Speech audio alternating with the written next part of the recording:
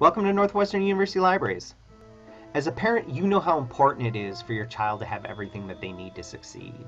And now that your Wildcat is starting at Northwestern, we want to make sure that you know the role that the library plays in their success because we know that you are important partners in how we're able to support them.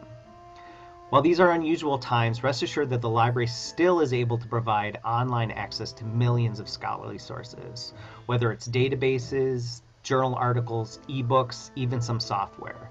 When they need something, remember to ask them, did you check the library first? Now, with access to so much information, finding what they need can be tricky and at times complicated. That's why the people at the library are the student's most valuable resource.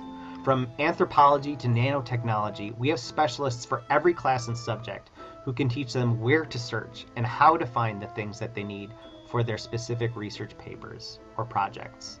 Whether it's a class for their major or something completely new to them, meeting one on one with a librarian can save hours of time leading them to the right sources for their specific topic. And finding the right sources can have a dramatic impact on their grade. Remember, these are services that tuition is paid for to make their experiences easier. So students should take advantage of them.